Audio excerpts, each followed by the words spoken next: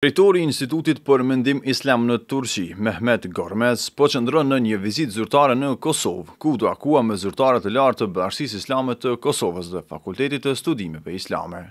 Gjatë qëndrimit të tij në Kosovë, Gormez u takua me Myftiun e Kosovës, Naim Efendi Tërnava, me Dekanin e Fakultetit të Studimeve Islame, Islam Hasanin, si dhe me profesorët e këtij institucioni.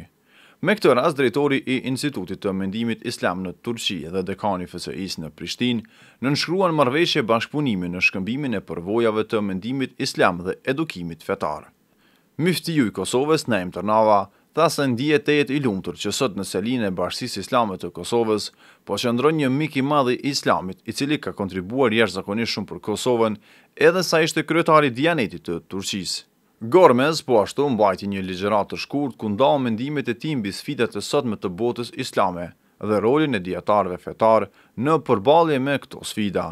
Qëllimi i Institutit të Mendimit Islam është zhvillimi i mendimit shkencor islam dhe eliminimi i pengesave që pengojnë zhvillimin e mendimit në gjithë botën islame, në veçanti tek përmirësimi i botëkuptimit të vërtetë në afrimin e shkencave racionale me ato tradicionale. Bashkëpunimi mes Bashkësisë Islame të Kosovës dhe Mehmet Gormez, sa kishte qenë edhe kryetar i Dijanetit të Turqisë, kishte qenë i shkëlqyer, ndërsa bashkëpunimi po vazhdon edhe në detyrën e tij të re si drejtor i Institutit për Mendim Islam.